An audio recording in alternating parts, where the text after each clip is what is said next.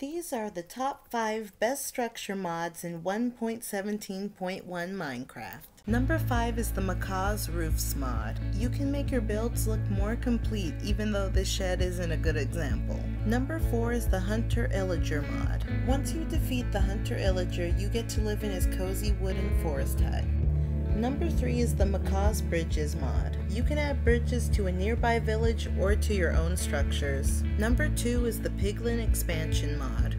If you like the nether, this mod adds in structures like a piglin ship, a fortress, and countless other things.